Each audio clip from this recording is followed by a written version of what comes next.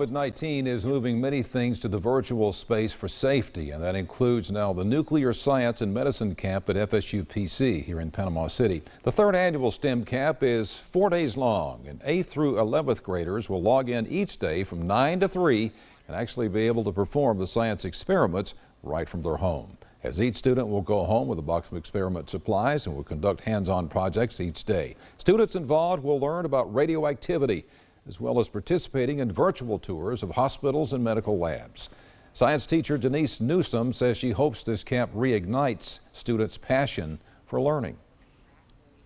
I'm hoping that it's going to excite them about nuclear science and the importance of different STEM fields, and hopefully they'll want to go to college and major in either nuclear science or physics. So um, our goal is to help them not be intimidated by these science words that seems like, oh, I could never do that. Hopefully this will make it more accessible to all of our students. Each student will arrive on Monday to pick up their box of supplies and begin the virtual camp at 11 a.m.